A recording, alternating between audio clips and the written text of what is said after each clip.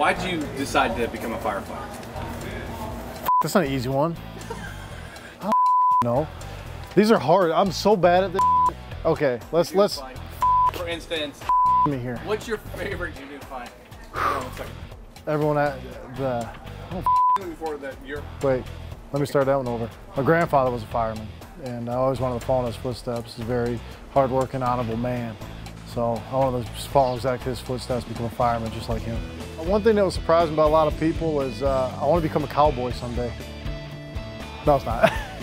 Before I became a firefighter, I was a semi-truck mechanic slash welder and decided one day that I was sick of busting my knuckles on wrenches. I figured I'd go help rescue people out of burning buildings. I decided to become a firefighter calendar model because uh, it goes to a good cause. Toby's fun. Most exciting moment I've ever had as a firefighter is uh, when a little kid looked up to me and said, thank you for saving my father. Uh, I'm single. Uh, would love to be married someday, have some children. Just had to find Miss Right. Anything in a woman is uh, first and foremost, you know, obviously I want her to be pretty, hardworking, have a good job, and funny.